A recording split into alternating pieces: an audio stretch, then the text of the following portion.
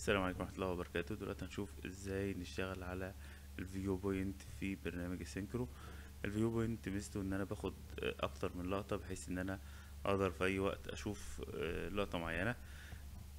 ممكن أكون مثلا عامل focus على نقطة معينة فأقدر في أي وقت أرجع لها.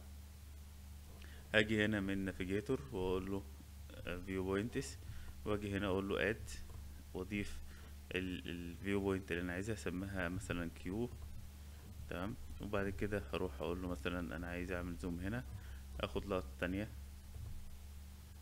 واسميها مثلا W في أي وقت ممكن أجي على ال Q وأقول له active in select 3D view فيبدأ يعمل لي zoom على الجزء اللي أنا عايزه. ولا هي جنرال تقدر تحط المعلومات اللي أنت عايزها آه، عن اللقطة ديت description تقدر تحط URL زي ما أنت عايز آه،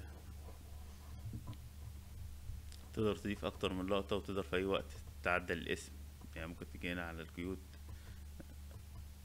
تقول له أنا عايز أغير الاسم rename عايز ألغيها عايز أعمل copy منها عايز active ها دلوقتي عايز أ save ها كصورة بحيث تحتفظ بيها آه، للذكرى وتوريها لأصحابك.